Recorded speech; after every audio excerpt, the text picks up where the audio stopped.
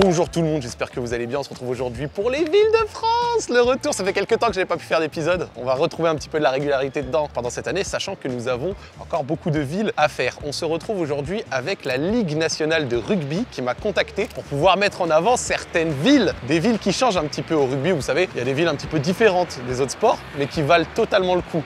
Et dans la mesure où ils m'ont proposé ça, j'ai dit oui directement. Et nous sommes aujourd'hui à Toulon. Qui de mieux qu'une légende du rugby club toulonnais J'introduis maintenant monsieur Mathieu Bastaro. Mathieu, comment vas-tu? Ça va bien toi? Ça va? Ouais, ouais, ça va, ça Je suis va. content de te retrouver. On s'était vu déjà il y a un an dans une émission. On avait bien rigolé. Content de t'accueillir à, à Toulon. C'est devenu ma ville euh, d'adoption, Ouais. même si euh, je suis né, j'ai grandi à Paris. Maintenant, ça va faire quoi? Ça va faire peut-être euh, 13 ans que j'habite ici. D'accord. Donc, euh, donc, euh, donc voilà, très content de, de te recevoir ici. Influencé par euh, le parcours sportif. Moi, je sais que le RCT, c'est un grand club. Moi, quand j'étais plus petit, je regardais toujours l'équipe, comme beaucoup. Et le RCT, j'ai l'impression qu'on se rend pas compte à quel point c'est gros. T'as eu quoi comme palmarès, toi, ici? Alors ici, j'ai gagné euh, un bouclier Brennus, un titre de champion de France, trois coupes d'Europe, une Challenge Cup qui est l'équivalent de la coupe de l'UEFA au rugby. Quoi. Ok. Voilà. Il y a des sports où les clubs français gagnent des Coupes d'Europe encore, et c'est le cas au rugby. C'est magnifique. Mathieu, on est où ici? Là, là, on est au Place du Marché. Voilà, Place du Marché, c'est un endroit euh, phare à Toulon. Ok. Voilà, c'est c'est un peu où tout le monde se, se- se- se retrouve. Il y a beaucoup de débriefs de matchs ici. D'accord. Donc quand tu es joueur, faut éviter. Quand tu as perdu, faut éviter parce que tu te fais, tu te fais doucher par tout le monde. Là. Genre là, tu passes quand t'es joueur, Ah on ouais, t'attrape à la volée, ouais, on te dit ce qui s'est bien ou mal passé. Exactement. Là, tu là, as un débriefing du match et euh, voilà, les Toulonnais, ils, ils connaissent le rugby, ils adorent, euh, ils ont une énorme passion pour, euh, pour le RCT, pour le club. Après, le tout, c'est pas aussi de venir de fanfaronner quand on gagne. Mais quand tu perds, euh, généralement, faut rester à la maison quand tu es à Toulon. Et c'est quoi le programme là du début? Moi personnellement j'ai vu déjà des rues un petit peu pavées, tu vois, c'est un petit peu ancien, ça c'est le charme que j'apprécie à chaque fois bah, dans écoute, même si, même si Toulon, ils sont en train de refaire pas mal de choses pour un peu moderniser la ville, il y a des petits endroits pas mal. Là, on va, on va commencer déjà, je vais te faire goûter une petite spécialité de, de la ville, de la région. Ça me va. C'est euh, la CAD. Et après, on va, on va aller se balader. Les amis, on va aller se balader, il est 11h52, j'ai faim, c'est vrai que la place du marché, c'est vraiment l'endroit qui bouge pas. Tu verras que tout autour, il y a plein de choses qui ont. Qui ont tu le vois, c'est c'est du neuf. Ouais. Ici, ça bouge pas. Là, je te propose de, de goûter ça. Oh La spécialité euh, de la région. Bonjour madame. Bonjour madame. Euh, Est-ce qu'on pourrait vous prendre euh, deux petites barquettes, s'il vous plaît? Magnifique. Ça, tu vois, c'est des trucs bien méditerranéens qui me font kiffer, ça. Tu sais que c'est rare que je commence des épisodes comme ça sur une ville en mangeant une spécialité. Oh, bah, C'est l'heure, hein Ça me fait plaisir, là. Là, tu vois, ça permet de... Le cœur, le cœur y est. La cade. Et donc, galette de pois chiches. On trinque. On trinque. C'est très bon, merci. C'est très très très bon, merci. Et Le donc marché. là, le charme, le marché, les petits dédales de rue comme ça, c'est ce que je disais à Mathieu. J'ai toujours kiffé ça. Quand on avait fait Nice notamment, moi j'avais kiffé ça. Non là, ça régale. Ça t'arrive toi le dimanche de venir en personne? Ouais, ouais, ça m'arrive, euh, sorte de. mm, un peu relâcher la pression. Ouais. Généralement, on, on a une semaine, euh, enfin, même, si, même si je joue plus, c'est une semaine où il y a beaucoup de, de pression parce que moi je suis, euh, je suis garant des timings. D'accord. Donc il faut que tous les, euh, tout soit timé, qu'il n'y ait pas de retard. Ouais. C'est vraiment au millimètre, à la seconde près. T'as arrêté de jouer quand à peu près? J'ai arrêté, c'est ma... j'ai arrêté il y a deux ans. J'ai eu la chance d'arrêter de jouer ici, au stade Mayol. Même si on dit souvent que quand on arrête de jouer, c'est une petite mort, c'est un de mes meilleurs souvenirs. Ah ouais? Mon dernier match à Mayol, ouais, ouais, parce que. Il y a eu un hommage, un truc fort. Ouais, ouais, oui, forcément de sortir euh, sous les applaudissements. J'avais marqué un essai, je m'étais euh, surtout juré, euh, après mes blessures, de, euh, de finir ma carrière euh, devant, devant, devant ma famille et devant mes enfants. D'accord. C'est ce que j'ai pu faire. Pour moi, c'était 17-18 ans de ma vie, quoi. Une bonne fin. Donc euh, j'ai eu la chance de finir dans le, on va dire, dans mon, dans, dans mon club de cœur, devant les miens. Donc euh, c'était juste génial. Quoi. Quand tu passes un certain âge, c'est ça la crainte numéro un, c'est la saison de trop. Tu as envie de repartir, Mhm. Et tu sens que ton corps quand même, euh, il répond plus euh, comme d'habitude, tu vois. Je sais pas si c'est parce que c'est très bon ou si c'est parce que je suis un gros gourmand, mec, mais. euh, Mais je l'ai tué son truc là. hein. Eh, franchement, la 4 de la patate. Elle est venue comment la, la passion du rugby C'était quelque chose qu'il y avait dans la famille ou c'est un truc euh, Pas du que tout. t'as développé en grandissant Genre tu l'as découvert comme ça euh Moi, dans ma famille, c'est plus le, le foot et euh, le vélo. Ok. En Guadeloupe, de toute façon, c'est foot et, foot et vélo. Euh, bon, tu as bien sûr l'athlétisme et le basket. Mhm. Mais le rugby, c'est pas quelque chose vraiment. euh, Enfin, à l'époque, pas du tout. Et en fait, j'ai commencé au centre aéré. D'accord. On avait euh, tous les mercredis une activité. alors un jour c'était le foot, le hand. et à un moment c'était euh, c'était le rugby. Et j'ai bien aimé. Je me suis envoyé à fond, j'ai bien aimé. Il s'avérait que l'animateur, il était, euh, il était éducateur. Donc il m'a dit oh, putain, euh, t'es pas mal, tu devrais peut-être demander à tes parents. Euh, J'ai demandé à mes parents. Alors au début, euh, refus catégorique. Refus catégorique, au début ils avaient un petit peu peur. Logique. Vu que c'est un sport de contact, etc. C'est vrai que dans l'imaginaire, on se dit que, tu vois. Exactement, euh, j'avais 5 ans et demi. Donc eux, ils ne voyaient pas forcément, ils se disaient, bon, ils ne connaissaient pas du tout. Ouais, bien sûr. Ma mère avait un collègue euh, de, de boulot qui était éducateur au club de Créteil. Ouais. Et euh, donc elle lui en a parlé. Il l'a rassuré, il lui a dit bah emmène-le. Et euh, c'est comme ça que j'ai commencé. Euh, j'ai commencé, je crois que c'était en 94, 95, 94. Et voilà, après c'est comme ça que ça a commencé. J'ai fait 10 ans à Créteil. Ouais. Et je suis parti de là-bas parce que je voulais jouer, on va dire, dans la plus haute catégorie de ma, de ma catégorie d'âge, on Ouais. dans de la plus haute division, pardon. Ouais, le plus haut niveau. Voilà. Pour moi, tout allait, ça allait super vite. Parce qu'en l'espace de euh, deux ans, euh, j'étais en troisième division euh, à 17-18 ans. Et l'année suivante, je jouais en top 14 avec le Stade français. C'était mon premier club pro. Et fait 4 ans et je, suis parti à, je suis parti à Toulon. On va reparler de Toulon. Petite place. C'est bien mignon ici, là.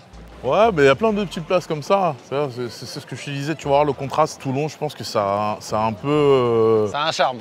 Ouais, mais c'est surtout, je pense que ça a sauvé et réveillé le centre-ville de Toulon. C'est intéressant ça. Moi par exemple, pour ceux qui l'ont fait, j'avais fait des halles à Madrid, autre ville, et les halles à Madrid de la patate atomique. Moi quand j'ai dit que je venais à Toulon, tu sais, je l'ai mis en story et tout ça, j'ai eu des abonnés, ils m'ont directement dit, première réaction, qu'est-ce que tu viens foutre ici, y a rien à faire. Et deuxième réaction, ah bah tiens, euh, je savais même pas que des gens connaissaient notre ville. Ouais, parce qu'en fait, notre ville, elle n'est pas réputée pour que ce soit forcément, qu'elle soit forcément attrayante. Mais ça fait quelques années qu'ils essayent un peu de, bah voilà, de, de- de- de tout, de tout rénover, de rendre les choses un peu plus attractives, surtout pour les jeunes. Ouais. Mais voilà, ils essayent un peu de changer ça, justement avec les halles. Euh, Il y a aussi la place de l'Équerre qu'ils ont refaite, qui, qui est pas mal. On est à côté de grandes villes comme Marseille, Ouais. ou Aix-en-Provence qui sont beaucoup plus attractives. Mais voilà, Toulon, ça, ça a quand même son charme. Généralement, quand on ne connaît pas, on se, on se- on se dit ah, ça donne pas envie d'y aller. Et une fois qu'on y est, on est agréablement surpris. Il y a la plage ici? Oui, oui, oui, oui. Plage, euh, plage du Mourillon, euh, oui, oui, il y a quelques- des belles plages ici. hein. T'as- T'as passé de bons étés toi. Oui, ouais, ouais, ouais. Non, non, non, non, ici, c'est- là où c'est bien, c'est qu'il y a tout. On est quand même entre la plage et, la, montagne. C'est un paysage qui est pas. que, tout le monde n'a pas. Parce qu'en profiter, on a, on a de la chance parce que. ah, c'est- toujours l'été ici, quasiment. Ça, c'est l'aspect de, la Provence. Quand on était dans notre Airbnb, on était genre au cinquième étage. Et d'en haut, bah, effectivement, tu vois, c'était traversant. À droite, t'avais le port. Et à gauche, t'avais la montagne.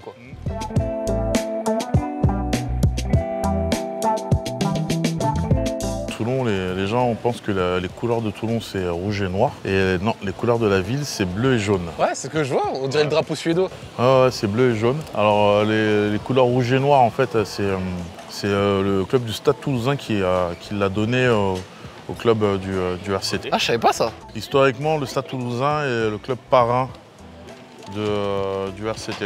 Et donc, du coup, il y a de bonnes relations entre les deux clubs? Bon, nos relations, euh, on est concurrents, quoi. Logique. Non, non, non, non, je pense que non, il y a beaucoup de respect. Le truc, c'est qu'on veut tous, euh, on veut tous les deux la même chose, c'est-à-dire euh, Logique. gagner être, et être champion de France, mais euh, non, il y a beaucoup de, il y a beaucoup de respect. Moi, j'aime bien la plaque qu'il y a sur le côté. À la mémoire d'Esther Poggio, lieutenant des FFI, chevalier de de la Légion d'honneur, morte pour la France, fusillée le 15 août 1944. Quand il y a un monument comme ça et une plaque toujours commémorative, que ce soit pour ceux qui arrivent après, les jeunes, les touristes comme moi, je trouve ça toujours super fort. Ah, mais euh, ici à Toulon, on, respecte, euh, il y a beaucoup de respect pour les anciens. C'est ce qu'on t'apprend euh, quand, tu, quand, tu, quand tu arrives ici. Moi, c'est ce qu'on m'a appris hein, quand je suis arrivé au club. C'est-à-dire qu'avant avant toi, il y, a eu, bah, y a eu des gens qui ont par exemple porté le maillot, Qui ont construit une histoire. et voilà, tout, qui ont construit l'histoire de, de, bah, de- de- de cette ville ou, de, ou du club. Et ces gens-là, il faut les respecter. C'est normal pour moi qu'il y ait, euh, y ait une plaque comme ça. Donc nous sommes au hall, on va rentrer. Stand de bouffe, etc. Et puis forcément, des personnes viennent saluer Mathieu. Tu me disais que tu connaissais quelqu'un qui avait un stand à l'intérieur? Ouais, ouais, ouais, j'ai ma voisine qui a, un, stand ici. C'est euh, souvent ici, les après-matchs, on vient euh, boire deux trois, deux, trois verres ensemble. Euh, et ça permet aussi de voir un peu tout Toulon.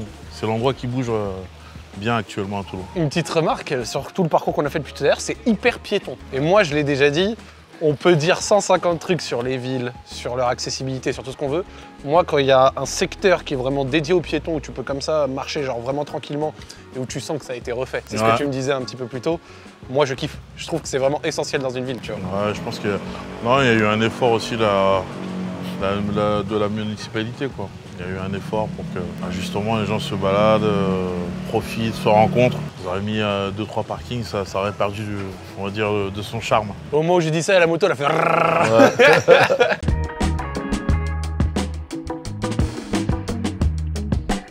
y a de la vie ici, Mathieu. Ouais, ça bouge, hein. Si, ça bouge, ça bouge. Il y a quoi un petit peu ici en termes de stand euh? Il y a tout. Il y a stand à burger, euh, stand de spécialité un peu italienne, il y a les fruits de mer, euh, paravin, plutôt viande. Voilà, là c'est spécialité un peu italienne. Ouais, j'ai l'impression que sur la Provence, il y a toujours une grosse influence italienne. Ouais, ouais, ouais, ouais, beaucoup. Il est midi 13. Hein. Sachez que je suis patient, genre moyen. Bien? Toi Ouais, ouais. Franchement, il est magnifique votre stand. Merci. Regarde ça, mec. Pâte farcie, ricotta, épinard, mon pote. Croquette de pommes de terre. Le marathon, il est fini, c'est bon, frère. Je peux un peu kiffer ou pas? Non, il y a France-Espagne, putain. Là-haut, c'est. Ah oui? Ouais, là, Comme un rooftop un peu? Ouais, mais là, c'est passé 22h. Là-bas, c'est passé 22h. Ouais, Regarde, mec. Mathieu, est-ce que toi, t'es un homme des produits de la mer? Oui ah, moi, oui, à 100%. Oui, oui, oui, oui, oui, Surtout que moi, bah, moi, mes oncles euh, en Guadeloupe, ils sont quasiment tous euh, pêcheurs. Pêcheurs Généralement, quand tu, euh, tu, mets du temps à aimer les, fruits de mer, quand t'es petit, on te, donne du poisson, tu veux pas. Mais ouais, ouais, non, moi j'adore. Non, mais tu vois, en plus, c'est frais, c'est génial. Tu vois, c'est génial d'avoir ça en centre-ville de Toulon. C'est assez marrant parce que c'est vrai que le Sud a souvent cette image, je vais généraliser évidemment, mais d'endroits tellement bons vivre où forcément il y a beaucoup de personnes âgées qui aiment bien venir finir leur vie ici, se la couler douce, passer du bon temps. Et c'est vrai que que ce soit à Toulon aujourd'hui ou à Nice quand on avait fait euh, il y a quelques mois, c'est vrai qu'il y a des personnes âgées, mais du, coup je comprends ce que Mathieu me disait sur le fait qu'ils ont envie de redynamiser ça aussi un peu pour les jeunes, tu vois.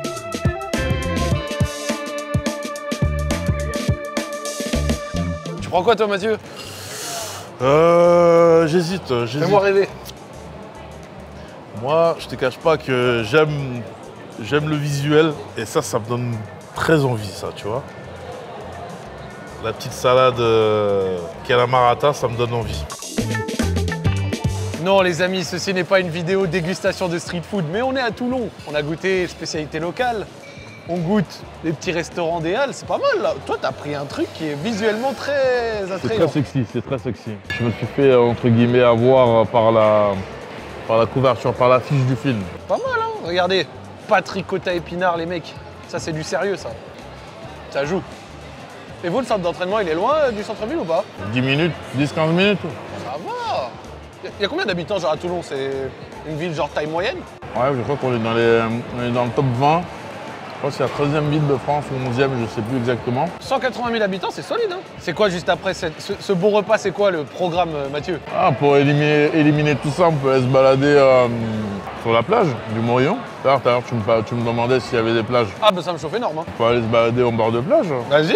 Ça peut être pas mal. Une petite balade à deux comme ça. Voilà, main dans la main. Quand t'as gagné la Coupe d'Europe, genre t'en as gagné trois. C'est laquelle des Coupes d'Europe qui était la plus marquante pour toi? La première, est-ce qu'il y a une finale en particulier où genre c'était une dinguerie? La première contre Clermont parce que euh, bah, on n'était pas du tout favoris. Le scénario du match fait qu'on est mené quasiment euh, tout le match, euh, on est dominé un peu et on arrive à retourner la situation et on gagne 16 à 15. T'avais quel âge à ce, moment-là? J'avais 24, 25. Et est-ce que, comme on peut voir dans certaines villes, notamment je crois que La Rochelle a gagné il n'y a pas longtemps un titre européen. Et genre à La Rochelle, j'avais vu des images, c'était la folie. Je dis ça parce que mon pote Yasmin vient de La Rochelle. Est-ce qu'à Toulon, les célébrations étaient euh, ouais, de haute volée Est-ce qu'il y avait genre du monde dans les rues et tout, c'était la folie Bah tu vois, euh, euh, la grande avenue, là, à côté de la place du marché. Ouais, Là, on était. Là où il y avait les voitures et tout. ouais. Bah là, c'est simple, c'était euh, noir de monde. Moi, malheureusement, j'ai pas pu faire les, euh, la présentation des trophées parce qu'à chaque fois, j'allais en équipe de France et on partait le lendemain des finales. Ah ouais Donc, euh, bon, ça.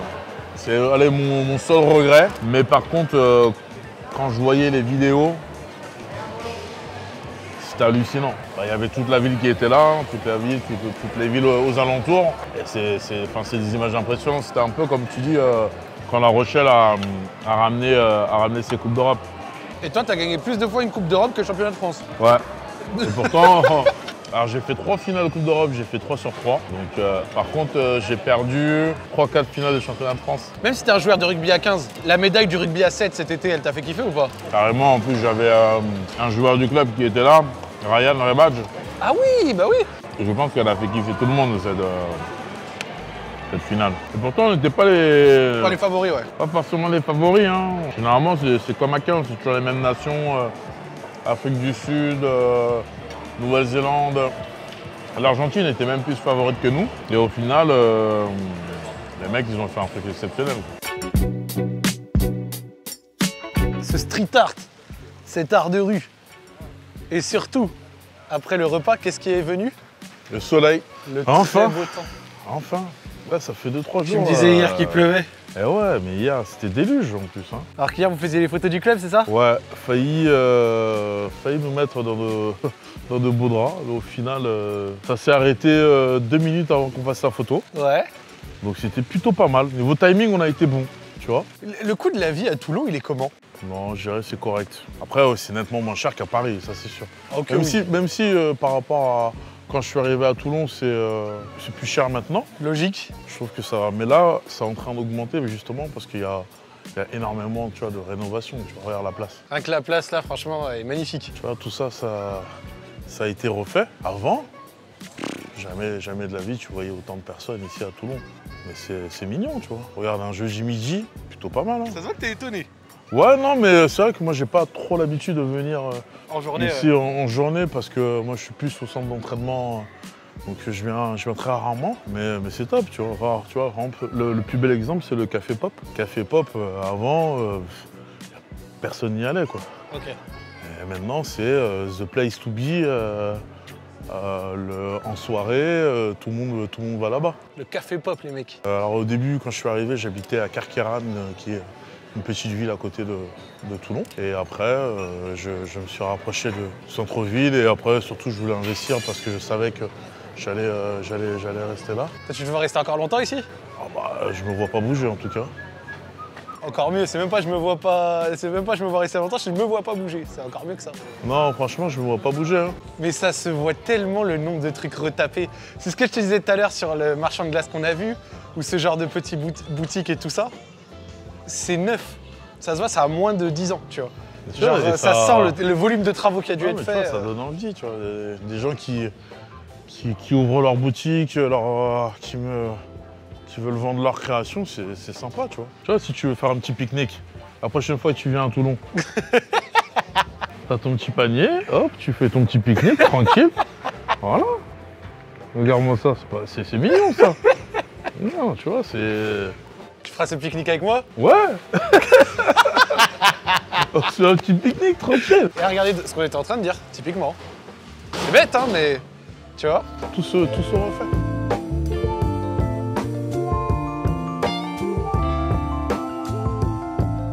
Plage du Mourillon, c'est aussi the place to be. Bah, je vois ça. Voilà, bon là on est c'est le mois de septembre, mais bon, l'été c'est blindé. Alors maintenant il y a le centre-ville, vu que ça a été refait, ça Ouais, ce bouge. que tu me montrais. ouais. Mais avant c'était ici que tout se passait. Ouais, je vois ça, c'est plage du Lido, c'est ça? Ouais. Le Lido, ouais, t'as le Lido, c'est aussi un des, des restaurants euh, assez mythiques à Toulon. Alors ça, le centre de loisirs, ça s'appelait la plage avant. Pareil, c'était un restaurant euh, avant-boîte, ils appellent ça, parce que c'est c'est le terme que j'ai compris ici. Avant boîte. Un avant-boîte. C'était le, le- le- the place to be euh, du, euh, du samedi. euh, tout le monde allait là-bas. Enfin, c'était l'endroit où tout le monde allait. Et là, ça a été transformé en, en centre de loisirs base nautique. Et c'est drôle parce que tu vois, quand on parle de plage, j'ai l'impression que dans le sud, il y a les plages que je vais appeler euh, les plages théoriques. celle où tu vas parce que c'est à côté. Et puis après, il y a les bons spots. Ouais. Ceux que les gens connaissent, mais ceux qu'il n'y a qu'une poignée qui connaissent. Ouais, bon, là, c'est- là on n'est pas dans cet endroit-là. Là, vraiment, les, pla- les plages, les, les- les- les spots, c'est un peu plus vers là-bas, tu vois. C'est, plus, ça a euh, quoi comme nom, euh, par exemple Un spot que toi t'aimes bien aller euh, T'as Lance-Méjean.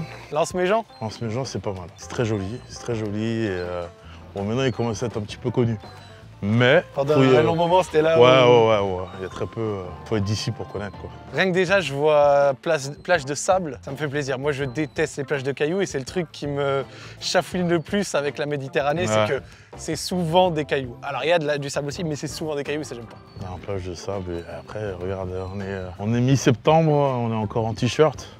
Même si hier il pleuvait, t'as pas, pas l'impression qu'hier euh, Non. il y avait de la pluie. Ah non, non, Tu absolument dans, pas. dans d'autres endroits, il fait déjà, t'es déjà en, en manteau. Donc c'est ça qui est aussi assez exceptionnel aussi avec le sud, c'est la météo. hein. Le bon vivre. Ouais, ouais, bah bien sûr. Ça, que quand tu commences à vivre ici, euh, même si euh, voilà, je suis né, j'ai grandi à Paris, tu regrettes pas. hein. C'est difficile d'y bouger, ouais. Ah bah, moi, je, je- je remonte euh, des fois pour voir un peu la famille, les amis. Ouais. Euh, vite, euh, vite, je repars. quoi.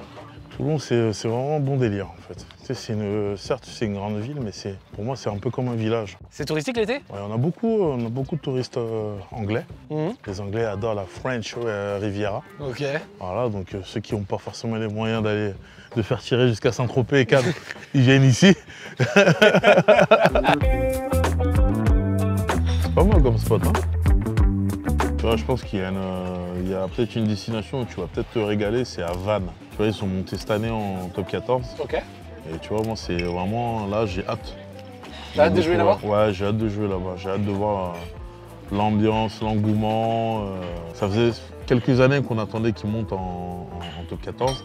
À chaque fois, ils ont, ils ont échoué à, à ça. Cette année, ils sont montés et euh, j'ai hâte de, de découvrir l'ambiance de- du stade de la Rabine. Tu sais que franchement, Van, je pense que j'étais pas capable de te le mettre sur une carte. C'est en Bretagne.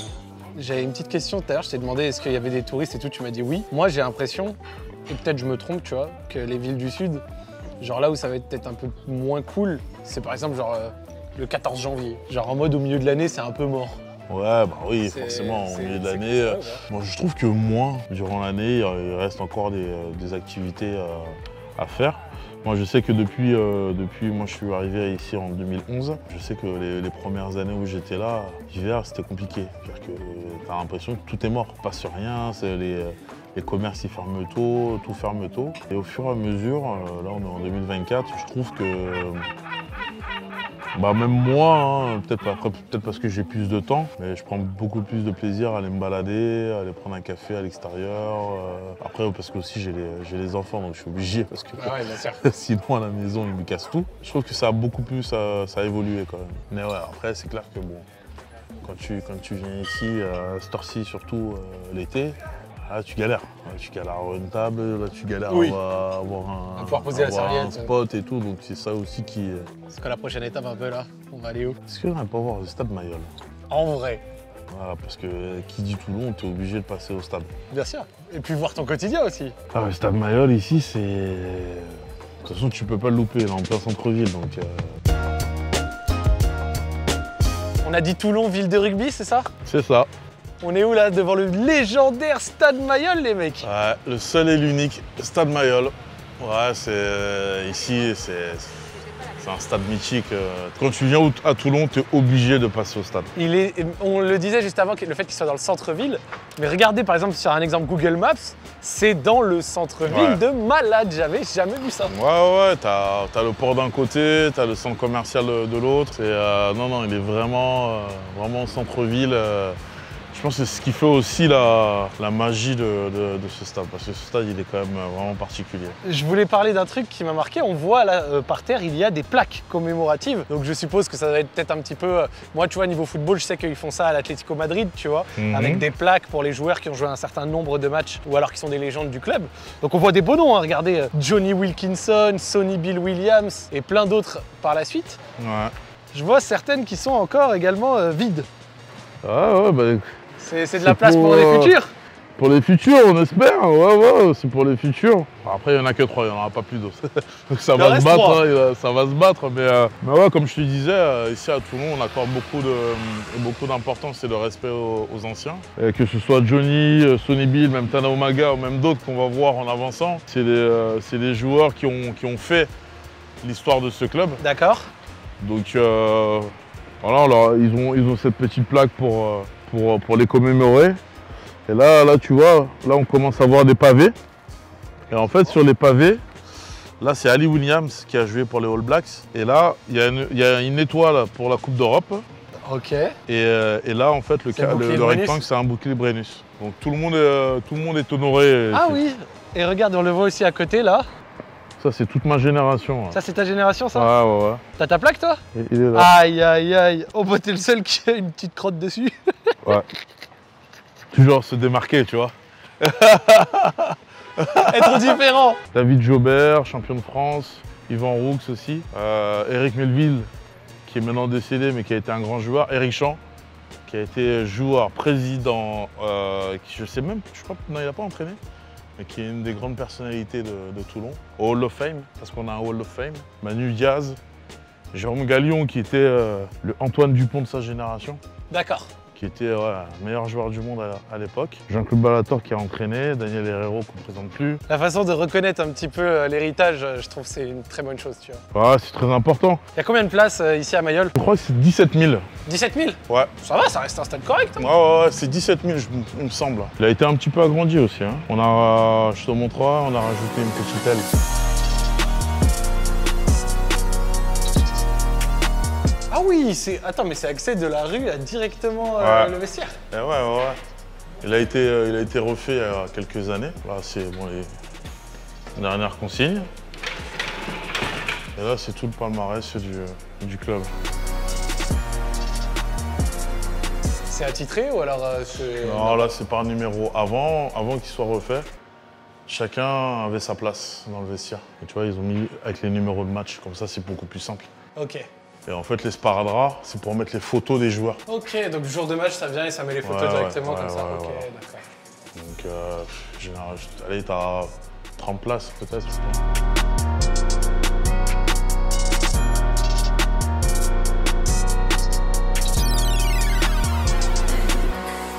C'est qui qui a les yeux un peu embou... embrouillés ici C'est Mathieu là Embrumé. De la brume, embué, je sais plus comment on dit. Qui pleure quoi. T'étais émotif là, Mathieu Non, c'était mon, je crois que c'était mon dernier match. Il y a les- bouquets de fleurs, c'était mon dernier match. là. Et ouais, tonton. Magnifique. Ah ouais. On va l'autre légende.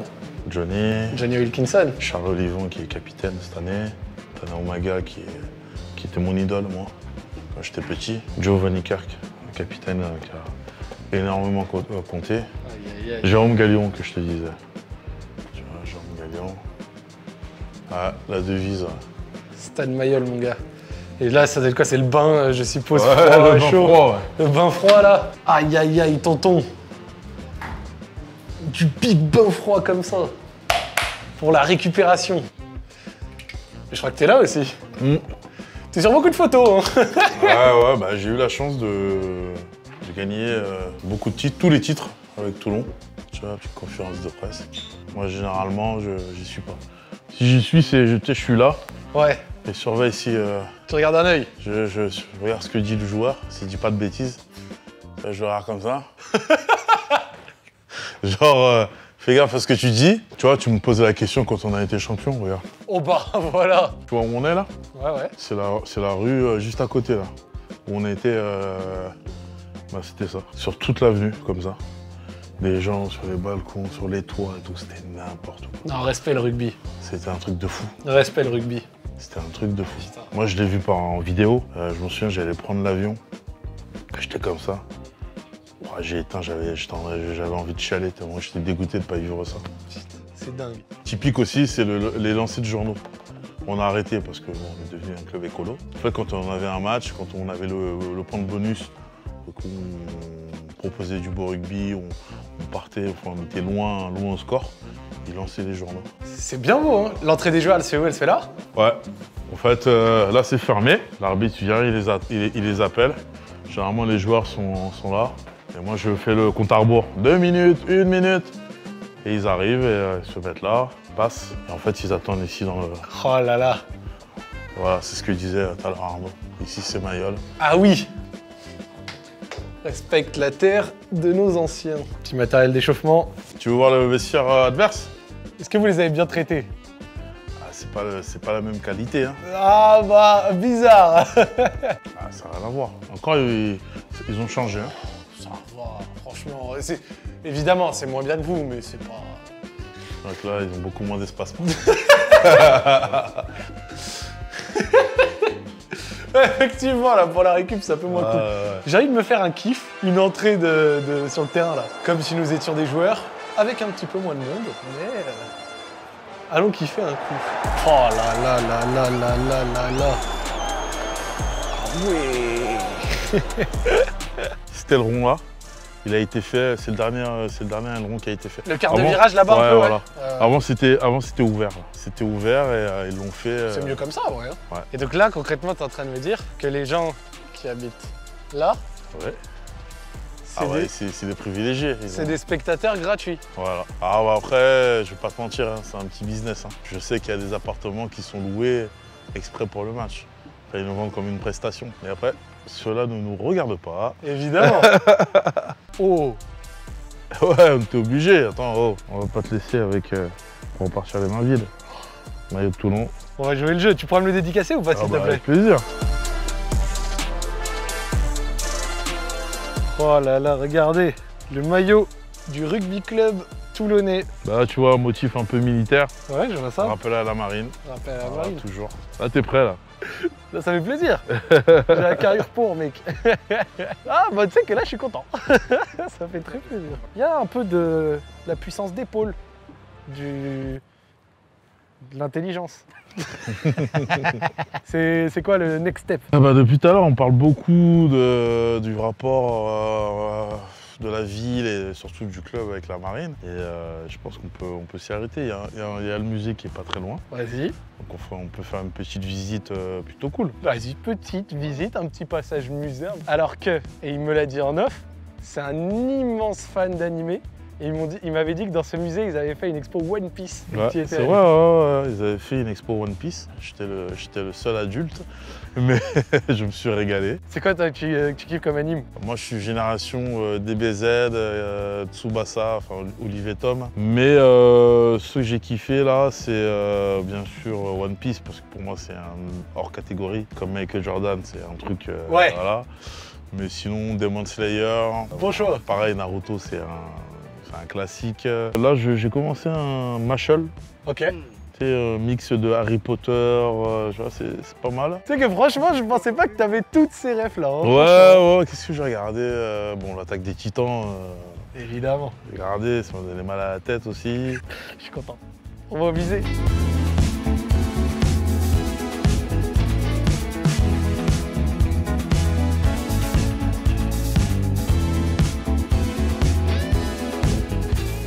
Excusez-moi, Oui. vous faites plus euh, les expositions One Piece? Non, là, non, il n'y a plus. Il était venu pour ça, lui. Bon, ben bientôt. Ici, on est euh, devant deux tableaux du peintre Joseph Vernet. Donc, c'est des tableaux qui représentent euh, bah, la ville de Toulon. On va dire le visage qu'elle va avoir à partir de Louis XIV. Et, mais c'est une commande, euh, les tableaux de Joseph Vernet sont une commande du roi Louis XV. Franchement, la ville, elle avait fière allure, hein, là, sur. euh, ne serait-ce que le tableau Elle avait de gauche. euh. lire. Alors ici, euh, bah, du coup, on est sur euh, le bas-pharaon. Et donc, euh, le but, ça va être, euh, par cette commande royale, de montrer euh, les différentes vues des ports de France.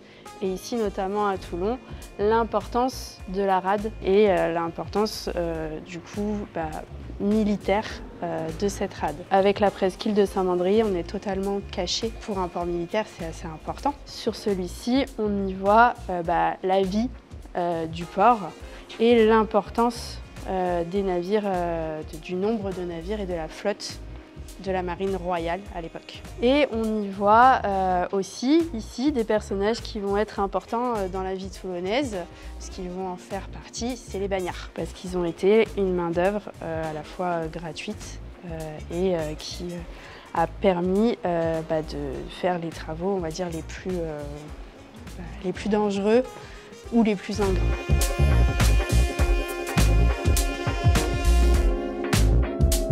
C'est vos pièces maîtresses un C'est peu nos pièces maîtresses, clairement. Donc, ce sont des maquettes, deux grandes maquettes qui ont été euh, réalisées en même temps euh, que les vrais navires.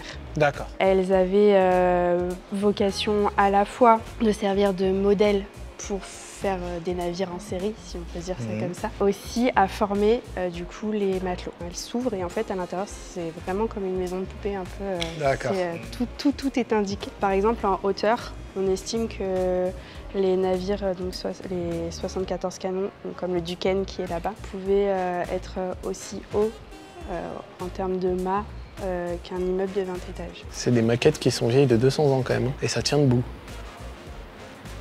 Pendant que toi, ton iPhone, il a 5 ans, c'est fini. T'es le mec qui confie. tout. Pendant que la Play 5 Pro, elle coûte 800 balles. Et t'as même pas le lecteur CD à l'intérieur. Alors du coup ici on est dans la salle du bagne, Euh, donc c'est la salle euh, bagne et galère. Ah, la galère, c'était un bateau. C'est un bateau. C'est de là d'où vient l'expression? L'expression effectivement elle vient de là parce que quand vous connaîtrez les conditions de survie sur une Sur galère, galère, ouais, c'était pas. euh, c'est exactement ça. Le mot galère en fait il vient du mot euh, grec galéos.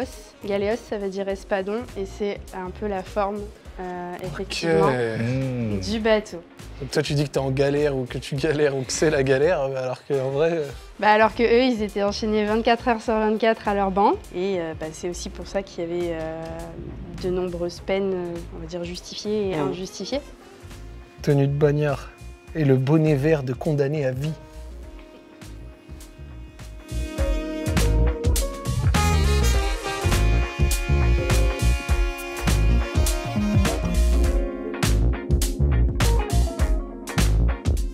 Pièce maîtresse de la marine française. Donc là, on passe sur un tout autre euh, registre, hein, puisqu'il s'agit donc de l'unique euh, porte-avions euh, français à propulsion nucléaire. Et on est sur un tout autre rythme, puisque là, on parle d'à peu près 2000 personnes à bord par rapport aux 80 du SNA. Donc il y a deux types d'avions à bord. Là, vous avez par exemple bah, le Rafale, celui qui est en pointe, et celui avec sa plateforme, c'est un Hawkeye. Et là, vous avez bah, le port civil, avec euh, ce qu'on appelle la, vieille Dars, donc la, vieille fortification militaire, et après toute l'étendue euh, qui est aujourd'hui la base navale de Toulon. Je le disais tout à l'heure, mais quand il y a une ville qui est marquée par une industrie euh, ou par un secteur d'activité en particulier, c'est toujours impressionnant. Mais alors là, la nav- le côté naval et maritime ici, c'est ouf. C'est cette porte monumentale donc, euh, qui est l'entrée du musée et était euh, l'ancienne euh, porte euh, de l'arsenal. Elle a été euh, déplacée, donc la- cette façade a été déplacée donc, euh, de son endroit d'origine sur des rondins euh, d'un seul bloc. Sans redécoupage. Sans redécoupage, elle a été déplacée en une nuit d'un seul bloc. C'est un monument, euh, c'est un monument historique. Ouais, hein. je vois, c'est marqué dessus. Voilà.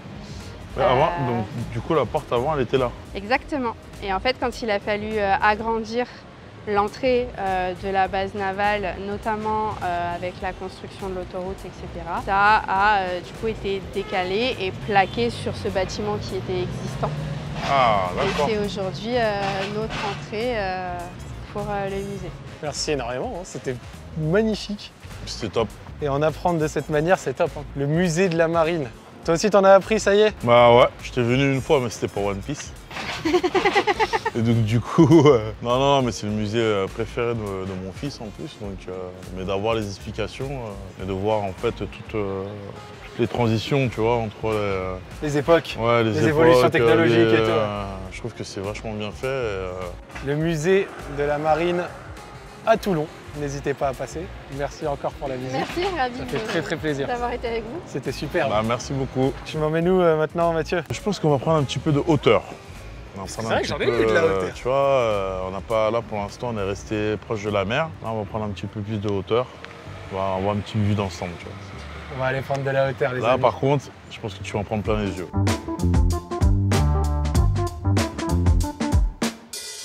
Mathieu, c'est haut ton truc là. hein. Et ouais, je t'ai dit qu'on allait prendre un peu de. C'est De très, hauteur. très haut, dis-moi. C'est très haut. Ouais. Là là là là. Bah, tu vois un peu euh, ce qu'on a vu au musée. On l'a vu un peu sur les tableaux, sur des photos. Et bah là, Ça s'appelle comment? C'est un mont ici, c'est ça? Le Mont Faron. Et là, le point de vue, euh, c'est le point de vue du belvédère. Tu l'as vu la première fois toi, dans les premières années, direct quand t'es arrivé ici? Euh, non, mais en fait, euh, en fait, j'ai fait deux randonnées et euh, j'en ai fait une cet été là avec euh, le staff du club. Et tu m'as dit que t'avais fait toute la montée à pied déjà? Ouais, on a Parce fait. que je peux vous le dire, on est à plusieurs centaines de mètres en hauteur. Waouh Ouais, ouais, on a fait à pied. C'est un peu, un- un peu de la cohésion entre nous, quoi. C'est dur, on se lâche pas, on monte. euh, Là, on reconnaît un petit peu, genre, je vois le musée où on était tout à l'heure, Ouais, le musée, une des port, frégates, euh, et on voit, je crois, le porte-avions euh, Charles de Gaulle en plus. Ouais. C'est dingue. Tu vois, tu, vois, tu vois aussi le stade, Mayol? Ouais, le- tu vois le RCT d'ici. Enfin, c'est Saint-Mandrieux, c'est ça du coup? Ouais, en face, Saint-Mandrier. Et en plus de ça, la montée, elle était escarpée. On avait une camionnette, on avait ça d'espace. J'étais un peu stressé. hein. je vais pas mentir, j'étais un peu stressé. En tant que lyonnais, je trouve ce beau Fourvière. Mais là, waouh, Ouais, j'ai fait Fourvière aussi, euh, c'est vrai. tu connais? Ouais, ouais, j'ai fait Fourvière. Mais là, c'est vrai que moi, cet aspect euh, Provence, euh, à mi-chemin entre euh, la mer et la montagne, respect. hein. On m'avait annoncé une journée et un beau programme. On m'a parlé de Tom Cruise, Brad Pitt, là, qui tu veux. Bah, c'est exactement ce qu'on a eu. Il reste quoi, Mathieu? Parce que là, franchement, je crois que tu pourras pas faire mieux. hein. Franchement, là, on a, on a vu tous les, euh, tous les spots, euh, on va dire, euh, tous les principaux spots mythiques de, de Toulon. Et bah, on peut se faire un petit bonus et, euh, et aller voir le, le centre d'entraînement. Franchement, je te suivrai jusqu'au bout du monde, mec. C'est fort, hein On dirait on est dans un campus américain, mec. Putain, Mathieu, toi, quand t'es arrivé en 2000, euh, dans les années 2010, c'était pas ça, hein? Non, C'est tout neuf, là, ça a combien d'années? Trois ans. Trois ans? Parce que ça se sent, hein, que c'est ultra récent. hein. Ouais, c'est c'est hyper moderne. Je pense que, sans être euh, chauvin, je pense qu'on a le, le meilleur et le plus beau centre d'entraînement euh, de France, peut-être même d'Europe. C'est que sans déconner, on dirait, mais vraiment un centre américain, tu sais, les campus où on voit de football américain. Même si vous regardez les vidéos euh, d'entraînement de l'Inter Miami, le club de Lionel Messi, c'est des complexes hyper modernes et tout ça, un peu dans cet esprit-là. Et là, ça rend bien. Je vois, il y a la salle de muscu ici. Ouais. Bah, en fait, là, comme tu vois, là, c'est l'aile des pros. Et là, c'est l'aile des, euh, Des jeunes. des jeunes. Les jeunes n'ont pas le droit d'aller euh, côté pro et surtout, c'est, euh, tu vois, le fait, c'est fait exprès de, tu sais, de qu'il y ait des glaces et tout. En fait, c'est pour leur donner justement, quand ils, font- quand ils, quand ils s'entraînent et quand ils font l'exercice, c'est pour leur donner envie de venir. Voilà, ouais, d'aller Voilà. là-bas, ouais. Il y a combien d'entraînements par semaine en moyenne? Pour aller sur une semaine type, euh, moi je compte aussi entraînement, c'est aussi la musculation, Bien sûr. 10 entraînements. Et mercredi, c'est off? Ouais. Et week-end, le match Ouais. Mercredi, c'est beaucoup pour les joueurs euh, blessés en ré- réathlétisation, qui euh, eux, par contre, c'est euh, tous les jours. Et généralement, le mercredi, c'est off. Et les joueurs ils viennent faire leurs soins ici ou viennent faire leurs- leurs extras dans Ouais, ok. en salle, en salle de muscu. Genre les joueurs qui ont envie d'en faire un petit peu plus et tout ça, Voilà, machin, ils peuvent venir. Ou alors même, comme tu as dit, les soins, genre se faire masser et tout, machin. Il y a tout l'encadrement médical aussi. Exact, ici. ouais. Alors, en tout cas, franchement, magnifique. Là, c'est la salle de musculation. La question qui me taraude, c'est en plein air toute l'année Ouais. Même en décembre, janvier et tout Ça peut se refermer Non, les, mensurations du terrain, c'est pas, pas identique. hein. C'est pas un vrai terrain rugby. Il est Hmm. beaucoup plus, euh, beaucoup plus restreint. Ok. Mais, euh, mais généralement, quand- ici, on s'entraîne, on fait des parties euh, un peu plus euh, techniques, la mêlée, euh, la touche, euh, c'est plus tranquille ici. Derrière, il y a le terrain en herbe. où là, ils font les, euh, ils font les grosses séances d'entraînement. en fait, le terrain en herbe, il est vachement exposé avec euh, la brasserie qui est en face. Et du coup, quand on veut travailler des combinaisons ou des tactiques euh, vraiment spécifiques, on vient ici comme ça, on sait que c'est safe. Qui dit club dit palmarès. Qui dit palmarès dit trophée. Qui dit trophée dit trophée. Salle des trophées. Il y en a certains que tu as eu entre tes mains ici. Quelques-uns, quelques-uns, ouais. Bah, le bouclier en 2014, la première en 2013, 2014. Il n'y a pas 2015, je crois qu'on l'a mis au restaurant. Et le dernier, 2000, 2023. Magnifique ce- celui-là. hein. Franchement, je le trouve très très très très très joli. Ça, c'est une réplique qu'offre la Ligue, ça. Non Parce qu'entre-temps, il, a été, euh, il a été refait. Parce que, bon, entre ceux qui font du surf euh, dessus, euh, qui dorment avec, euh, ah ouais, le bouclier Brennus, il a une longue histoire quand même. Il a une longue histoire? Ouais, quand tu le gagnes, euh, Il se passe des choses avec. ah, il, su- il subit des excès, il voit des choses que. qu'ils ne devraient pas voir. Franchement, sur ces quelques mots, merci beaucoup Mathieu. Bah de rien. C'était absolument génial. Tu m'as fait une visite euh, Ah bah, J'espère que tu t'es régalé et que tu as appris à apprécier la ville. Toulon, c'est superbe. Et j'ai encore plus envie, maintenant qu'on a fait le centre-ville au début, d'aller voir encore plus loin dans le dédale de rue et tout ça, parce qu'on en a vu une partie, mais il y a encore une partie euh, qu'on n'a pas pu voir, et logique. La très belle vue, euh, je me suis régalé. Le stade, le musée, non, franchement, au global, euh, ça se voit que cette ville a des charmes à offrir. Et là où certaines personnes me disaient, mais tu verras, la ville, elle est pas belle, nanana, je me demande pourquoi on m'a dit ça, au final. Tout évolue et la ville, elle a évolué. On a vu hein, avec les travaux. Bah ouais.